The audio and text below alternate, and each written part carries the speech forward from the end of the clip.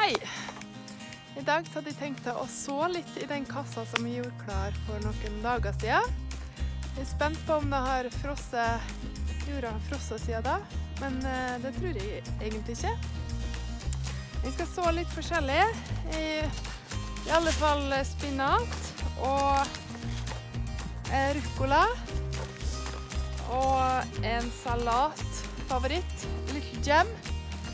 Um, og så kanskje litt annet som jeg har lyst til å eksperimentere med. Så det skal jeg vise litt i dag. I en tidligere video har du kunnet sett hvordan jeg har forberedt denne pallekarmen ved å grave ned bokashi for å så nå vinterstid.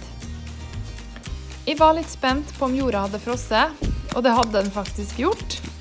Men ikke mer enn at jeg fikk til å hakke noen fårer med en plantespade.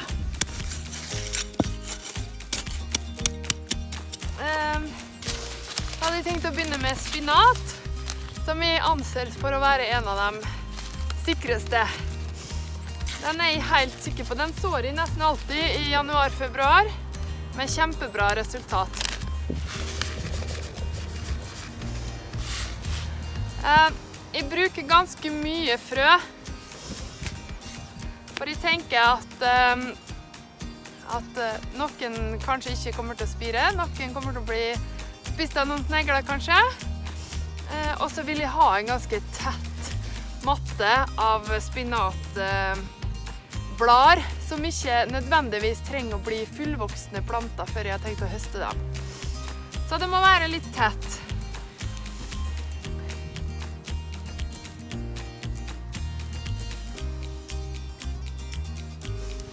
Og så når jeg har laga rader nå, så har jeg tenkt på at de skal gå Sola står jo her nå, det er sør.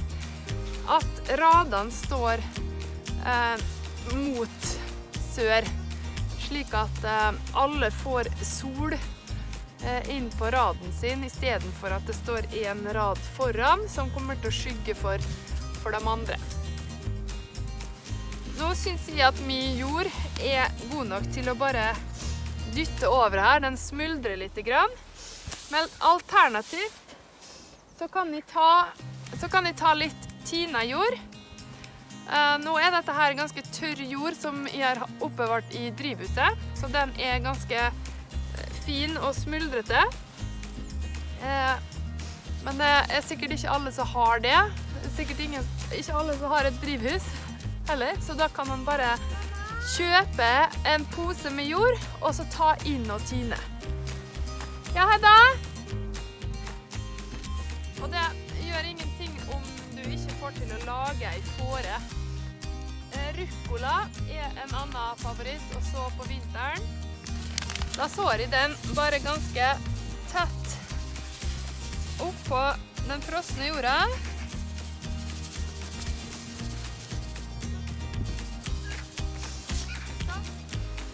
Og så dekker jeg med et lag med jord.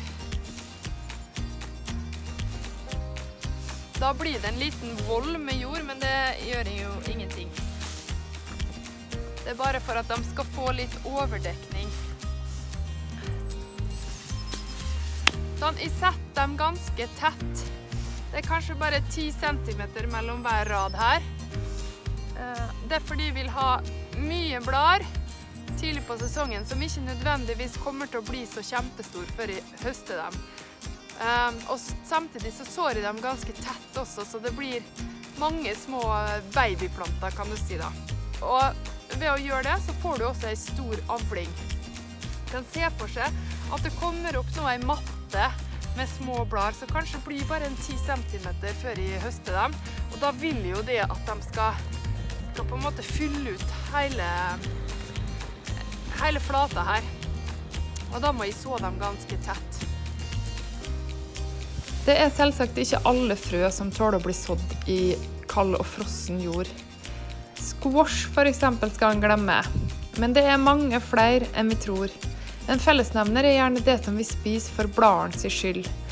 Men også gulrot og passinakk er kjempefine å så på vinteren. Og for ikke å snakke om salatfavoritten Little Jam. For at du ikke skal glemme hva du har sådd, og også for å lære hva som gikk bra og kanskje ikke så bra, så er det viktig å merke raden. I klippe etiketter av smørlokk eller tilsvarende, og skriv sort og dato på. Andre, andre. Det er mange gode grunner til å pile ut med frøposene allerede nå. Mine viktigste motivasjonsfaktorer for å få frøene i jorda nå, er at de da overlater avgjørelsen om når det er på tide å spire, til frøene sjøl. Og da er det som regel riktig. Men kanskje aller viktigst er det at nå har jeg en halvtime å bruke på dette. Og da har jeg ei arbeidsoppgave mindre når våren kommer. I tillegg får en som regel robuste og veloppdragne planter som er vant til det tøffe klimaet de vokser opp i, som gjør at de slipper avherding og utplanting senere. Ved å dekke med et lokk tidlig på våren, så får de også en tjuvstart på våren, og kan høste tidligere enn andre har gått til innkjøp av frø. Nå dekker jeg jorda med snø, som både isolerer og som vil fukte jorda i passelig mengde. Litt seinere i februar eller i mars dekker til med et lokk, for da syns jeg det er på tide at frøene kan vekkes fra dvalen. Har ikke du lokk, så kan du lese hvordan du enkelt kan bygge et sjøl på bloggen min, Det grønne skafferi. Eller det kan også fint lykkes uten. Men da kan det være praktisk å dekke til med et nett eller kompostgitter mot gravende katter eller fugler. Det er noen faremomenter med å så på vinteren. Det ene er at det kan bli altfor fuktig, slik at frøene råtner. Det andre er at den lokker frøene til å spire altfor tidlig, slik at de senere fryser bort når det kommer streng kulde. Og det finnes ingen garantier for at det blir bra. Um, men erfaringa mi tilsier at det, det blir det. blir det. Så derfor så gjør jeg også den Jeg er glad for å gjøre denne jobben nå. Så prøv det du også.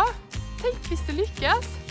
Tenk hvis du i april kan ha spirende eh, grøder, og allerede i mai kan, har du en, eh, en, eh, en tett matte av grønne blader å høste fra en sånn enkel fallekarm i kjøkkenhagen.